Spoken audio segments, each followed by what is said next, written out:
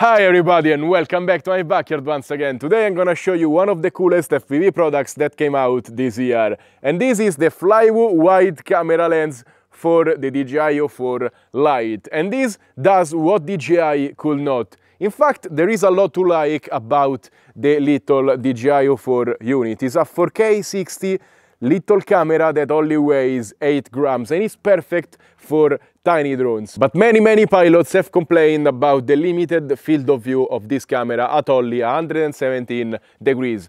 The image feels quite zoomed in and uh, it's flyable, but when you switch to a wider field of view, you feel much better, you see more obstacles, and it's much more enjoyable to fly. And Flywoo already tried coming to the rescue earlier this year by creating this 3D printed wide camera lens adapter that slides on the Flywoo mount for the O4 Lite.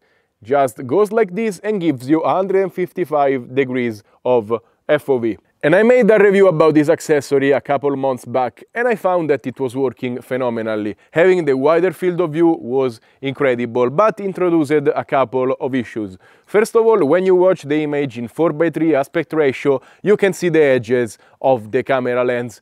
And when you stabilize, depending on what the drone does, the image can go down to that corner and show a little bit of black border. Also, when you're facing the sun, you can get some light streaks because you have a few lenses stacked on top of each other. And also it kind of looked like a DIY project rather than a product. And so today we're gonna take a look at the updated version of this product because they claim to have fixed all the issues and probably this is the way this camera should have came out from the DJI factory. Boom! This is not just the wide-angle lens, but it's the entire DJI O4 Lite camera you have to replace on your drone. You can also buy the DIY kit only and do it yourself, but it's a little bit harder process because uh, you have to detach the main board with the sensor and reglue it into this, adjust the focus. It's a little bit harder project. In the box you also get an adapter. These slots at the back of the camera so you can attach the MIPI cable. And it's just like the one on the original DJI O4 Lite. You also get the screws for the camera mount and two injection molded camera mounts. This one has the pattern for the O3, the O4 and this one has the pattern for the analog. So you can mount this camera into every drone you want. You just need to add the little screws to connect the two parts together. I'm gonna test this camera with the Flywoo Firefly 18. They even made a modified mount to host it. And I believe most drones coming from Flywoo will use this new lens and camera. And Flywoo also made ND filters and camera lens protectors. They will be pretty easy to slot in Boom. I'm gonna fly twice because I need to test the stabilization with this new lens. First, I'm gonna use 16 by 9 rock steady so we can see how it works with the internal stabilization. And then I'm gonna record 4 by 3 aspect ratio, no stabilization, and apply gyroflow later. Okay, first thing first, I see a camera calibration error, which is not very reassuring. This is uh, Flywoo's camera I just attached to my old O4 Lite system. this drone is so light, I forgot. oh my god. oh, it stopped recording when I crashed, so I have to fly again. I tried going into DJI Assistant and fixing the calibration issue. Maybe it's fixed now, because it asked me to recalibrate the camera with the VTX. Okay, it didn't fix the calibration camera issue. I guess uh, you have to keep it there. I even updated the firmware, but nothing to do.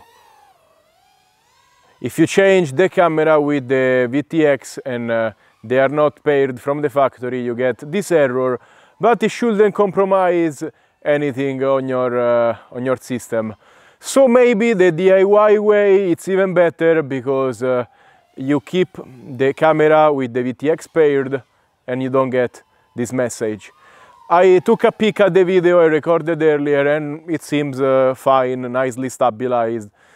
I didn't remember the O4 Lite looking this bad, but I never use Rocksteady, so I can't wait to use uh, Gyroflow later, just because it's a lot less zoomed in. I'm not used to the 16 by 9 and even with this wide angle lens, the image seems very zoomed in to me, even if we are at uh, 155 degrees of, of FOV, FOV. Okay, with a charged battery, flies much better. This little drone, it's super nice, I love it. Because you forget you're flying a 1S uh, 20 gram drone, wow. I have been using a 5 inch all day today because I was testing uh, the um, N-Blade Max. So I'm kind of not used to this uh, tiny whoop. And now let's fly 4x3 Gyroflow. Okay, looks a lot better like this. It seems like the field of view you get from the 4 Pro and it's wow. Now I can say it's wide, it looks much better. So I advise not running the rock steady stabilization, at, not, at least not in 16 by 9. That's why people complain a lot about this camera because they run maybe the stabilization with, uh, without this mod. So with the stock field of view and the stabilization, the, the image looks horrible. This is uh, very nice. You can see we don't get uh, uh, haze or effect. It has a nice sun streak, a nice uh, uh, lens flare. So I like it a lot. And they made this camera a lot better this way. It's usable, you see a lot more when you do maneuvers. And the 4x3 aspect ratio, I like it more because when you do maneuvers, you see more of what you have coming up and you can adjust better for it, especially when you are upside down. Having the top view, it's, uh, it's amazing. Wow, this is a 1S drone doing this. The, the capabilities of the 4 Lite are incredible because you cannot really fly like this with analog and have this uh, super crisp uh, image, especially running uh, behind obstacles like this. Okay, now my question is, do we have a chicken around? Because, uh, aha, this seems to be like the perfect candidate for some chicken chasing. Yes. Oh! The battery starts to be a little bit lower voltage. On 1S you feel it a lot because uh, you lose power when the battery starts to be depleted. It's time for the chicken to go home anyways and uh, they don't sleep here anymore, they sleep on the other side. I'm gonna demonstrate with this chick. Come on, why, why are you running? You are supposed to go home. Come on. No. Okay, maybe this one is going to go home. Yes, yes, yes, use the ramp. Use the ramp. Come on. but anyway, they have a hole above the ramp to go into the winter chicken coop because it's a little bit uh, less exposed to the elements and they are uh, warmer there. but I couldn't demonstrate that. I'm salty.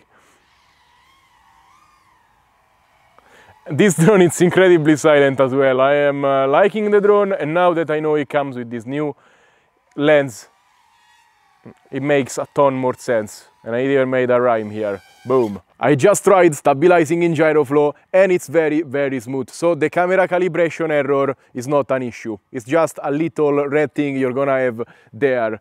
The problem is you can see a little bit of image warping when the drone is moving a lot. And that's because we are using a different lens than what came from the factory. But Flywoo thought about this as well and uploaded to Gyroflow the correct camera calibration profile. So you can just look it up, apply it, and the image will look perfect. And it finally looks like a little O4 Pro. And I feel like this is how the camera should have come out from the DJI factory, but at least now we have a very easy solution. Flywoo offers many different options for this kit and they are all pretty affordable. You can get the DIY kit for around 16 bucks, so it's very easy to modify your pre-existing cameras and you will not have the camera calibration error. You can buy for around 30 bucks the whole O4 camera, which is incredible, and you will have the little calibration error maybe I am bugged, you should be able to remove it using DJI Assistant. And also at the price of basically the whole DJI O4 Lite, you can get the one modified by Flywoo. So there is a lot, a lot to like about this kit. And that's all for today. As always, remember to like, subscribe and comment on this video. Let me know what you think about this wide angle camera. And also let me know if you think they solved all the issues the previous version had. If you wanna buy something, check out the links in the description below because clicking on them, you help my channel a lot and many times you also find discounts. Thank you so much, stay safe and happy flying, bye!